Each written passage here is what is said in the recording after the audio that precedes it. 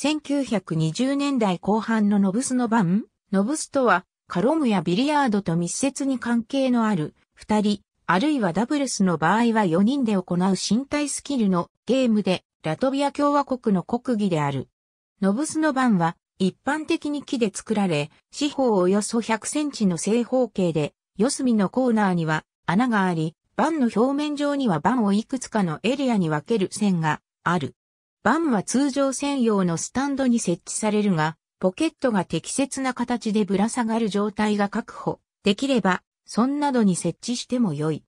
他の旧スポーツと異なり、ノブスでは、ボールの代わりに小さな円盤とプレイヤーそれぞれが出玉として使う専用の大きめの円盤が利用される。シングルスではパックが2色それぞれ8個で合計16個あり、ストライカーは2個ある。プレイヤーはキューで自分のストライカーを自分の色のパックに当て、パックをポケットに落とす。自分の色のパック8個をすべて先にポケットに落としたプレイヤーが勝者となる。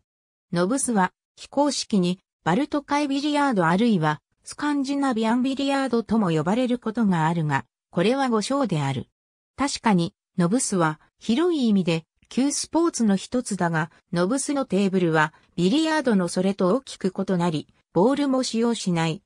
ラトビアノブス連盟長、ヤーニス・エーリクス・ピエバルグスによれば、ノブスが初めて登場したのは1925から1927年頃で、北ヨーロッパ、特にラトビアとエストニアにおいてである。ノブスは戦場でできるゲームとしてビリヤードから発展したと思われる。その大きさのおかげで戦場での設置が容易で、またビリヤードのボールと異なり、ノブスで使う円盤が船の揺れの影響を受けにくいという点では、戦場で使うことができる。そのため、ロシア語その他の言語で、ノブスはしばしば海のビリヤードと呼ばれる。ラトビアの水夫は英国の港を訪れた際に、当地の飲み屋でノブスに似たゲームを経験し、最初のノブスワンは英国から持ち帰った設計図に従って製造された。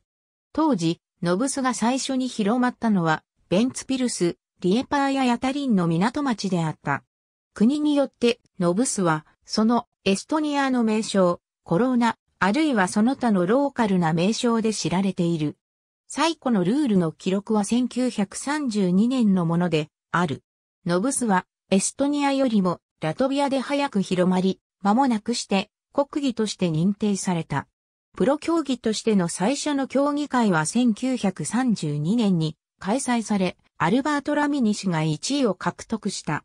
1963年12月6日には、ラトビアのブス連盟が設立。全国選手権大会が1964年から定期的に開催され、当初はシングルスのみであったが、1966年以来は団体戦も行われるようになった。そこでは男性の部、女性の部、そして年少者の部が設けられた。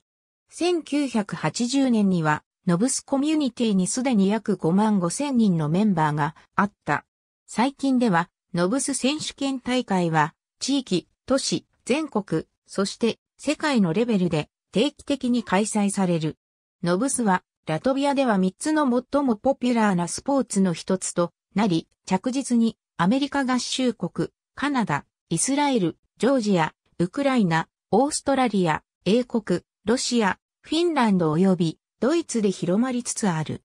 1993年以降、ノブス国際選手権は毎年開催され、そこにはノブスコミュニティの規模が大きい国、特にラトビア及びエストニアからチームが参加する。2006年9月30日には、ノブスは最初のバルト海子供オリンピックの競技リストに入った。モスクワノブス連盟、ノブスのルールの紹介これは簡略ルールである。